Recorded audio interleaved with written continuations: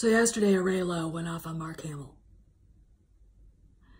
I'm not even sure Reylos are even human, or at least part of the human race. They're not the same species as we are. They can't be. They need to be studied. I'm serious. More up inside.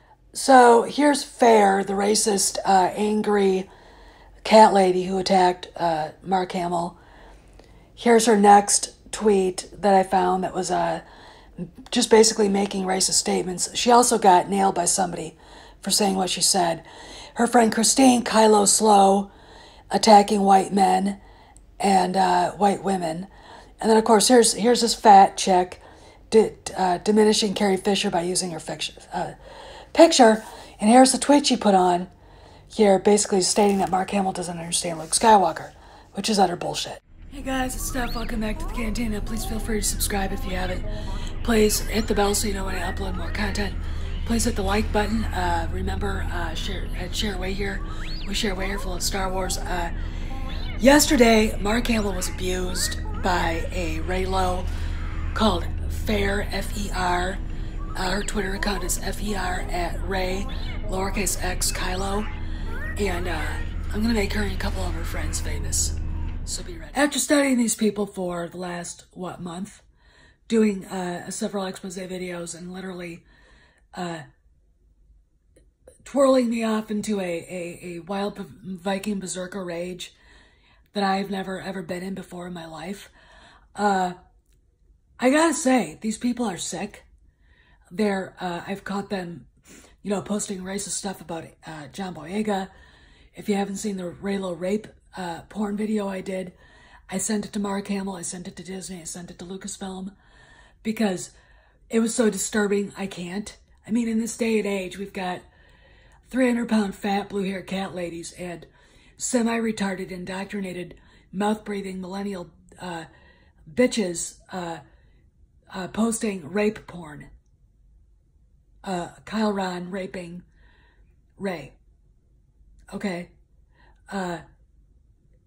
There's, I mean, their their idea of romance is a girl in a chair, naked, strapped with her her, her wrists bound by bound by handcuffs, her ankles bound to the upper arms of the chair, her legs spread with the fully clothed Kylo Ren standing in front of her. You know, and J.J. Abrams at the time of uh, TFA called it what he was doing to her when she was actually being interrogated violent mind rape.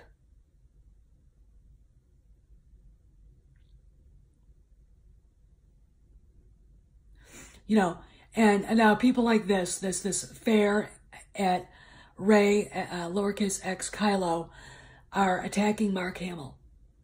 Now, I did I yeah yeah. Also to the point posting that, well, like I said, she she couldn't wait for all the white men to be out of Star Wars or something like that. I can't remember the whole trait, but you'll see it in this video. Look, romance is not rape.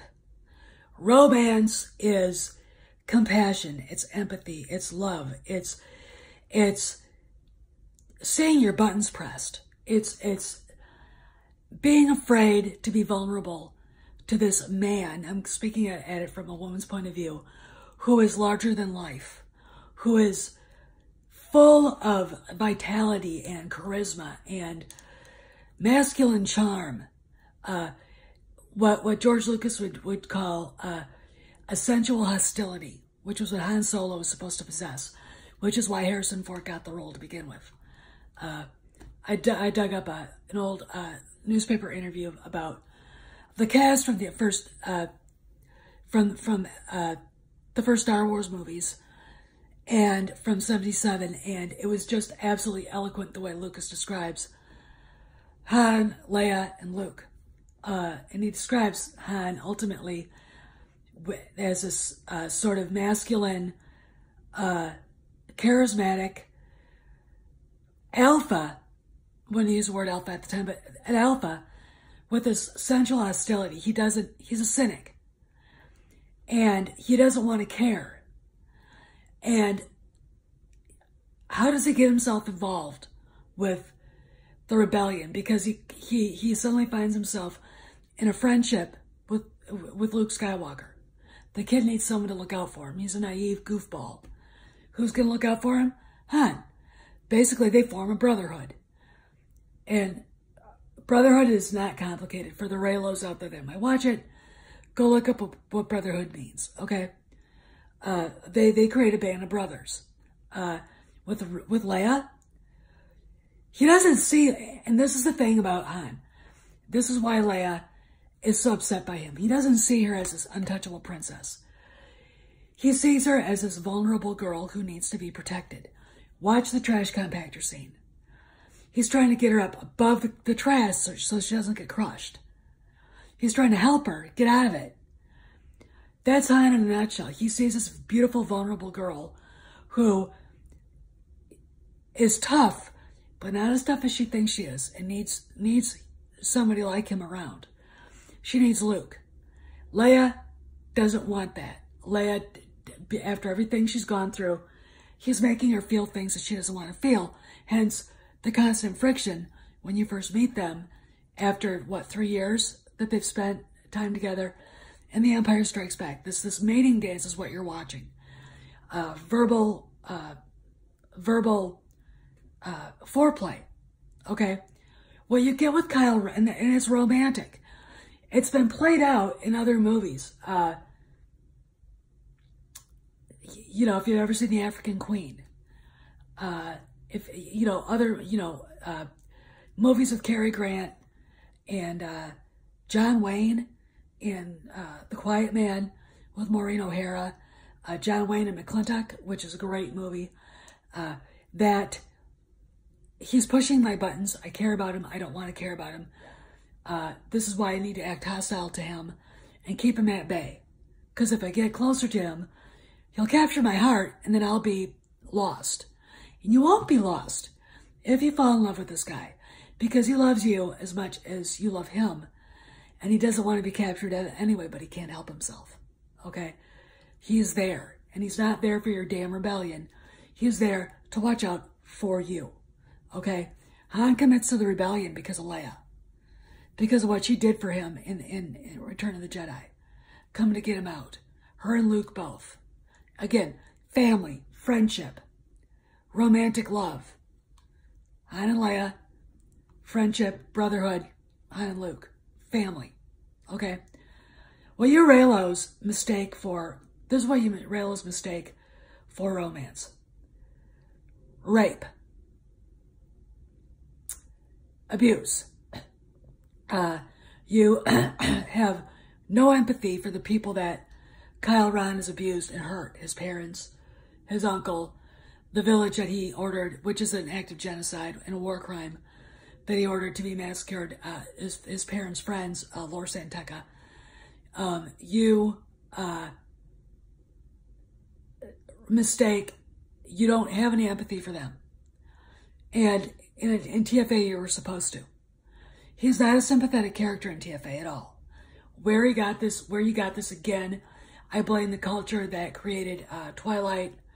The woman who wrote that should be slapped. I blame uh, the dumbass who wrote uh, Fifty Shades of Mommy Porn.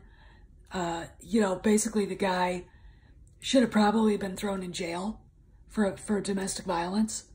You know, uh, what you see in the torture scene in TFA with Rey is nothing but, as J.J. Abrams himself described it, violent rape, violent mind rape.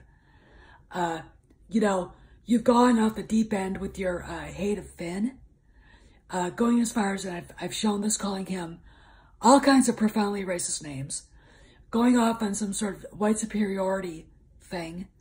Uh, you know, you you you take a book, a, shitty, a shittily written book, like Bloodlines, and mistake in everything that Claudia Gray wrote uh, you actually absolutely have no empathy and no no sense of the first six movies, okay?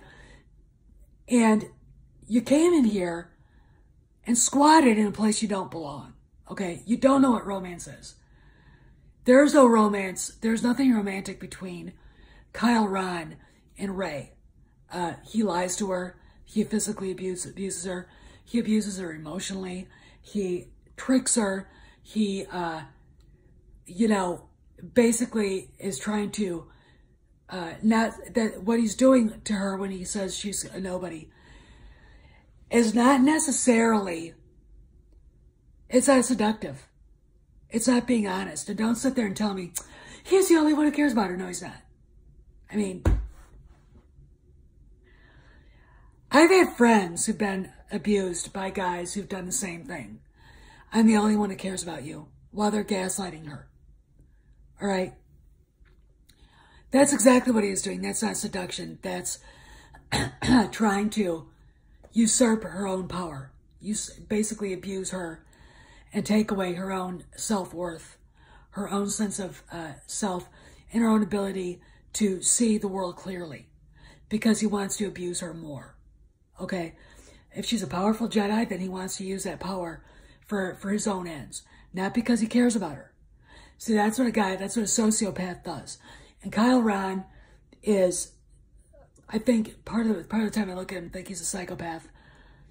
Other times I think uh, he's a sociopath, but he's not uh, a sympathetic character.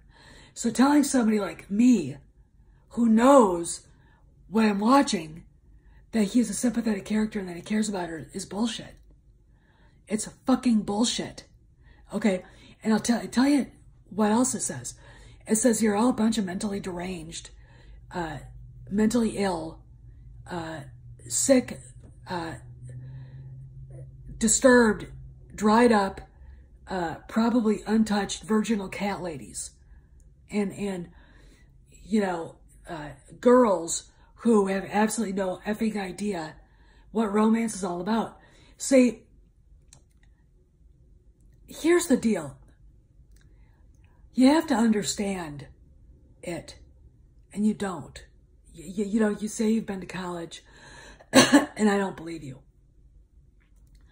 Any college student will tell you that the stuff that you've read, the stuff that they made you read isn't, you know, any any college student that went to school in the last 30 years will will tell you everything you think about what romance is supposed to be is wrong. And I'm going to end, end it with this. When you look at Han and Leia, I'm going to use them as, as an example because they're the best. Han is akin to uh, Sir, Sir Lancelot. He is uh, uh, to her Guinevere, to her Elaine. He fights to get to her side. He fights at her side. He fights in the ser service of her surrogate father, the rebellion. Okay? That is Han Solo. That is romantic. That is a romantic ideal for a man.